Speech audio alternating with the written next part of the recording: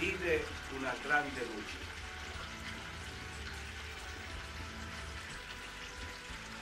Cristo Gesù, venuto duemila anni fa, nella povertà della grotta, si rende presente nella storia ogni volta che la Chiesa celebra i suoi sacramenti. L'incarnazione è in funzione della Pasqua del Signore. Dalla Pasqua nasce tutta la realtà nuova della vita della Chiesa.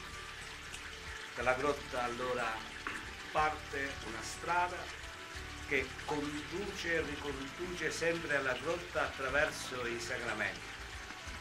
Primo dei sacramenti, il battesimo, l'acqua, che fa rinascere alla vita nuova, alla vita della grazia, dove non solo veniamo immersi, ma possiamo sempre attingere la novità della vita. Quella novità della vita che ci viene data attraverso il sacramento della penitenza, perché al peccato di Adamo ed Eva il Signore ha dato a noi di ritornare alle acque del battesimo con le lacrime. Come dicevano i pani, la penitenza è il battesimo delle lacrime.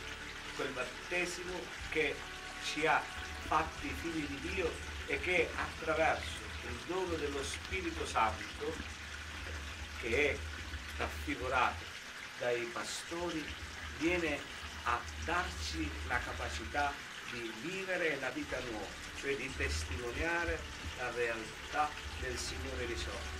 I pastori videro per primi il bambino Gesù, riconobbero in lui la potenza di Dio che era Dio e furono i primi ad annunziarlo a tutte le genti. Questa strada ci porta poi attraverso l'incarnazione concreta della vita a celebrare la Pasqua del Signore nella Eucaristia,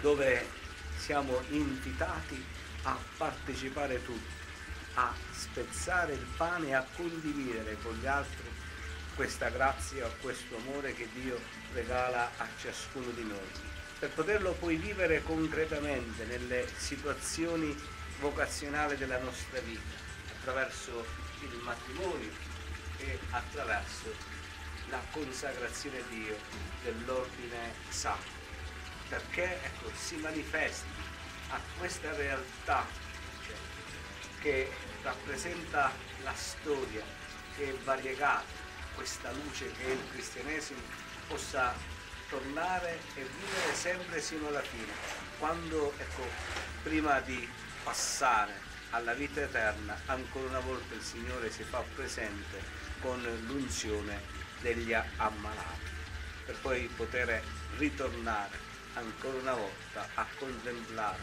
nell'eternità il volto santo di Dio, di quel Dio che si è fatto bambino e che vuole che ciascuno di noi viva nella realtà della vita eterna.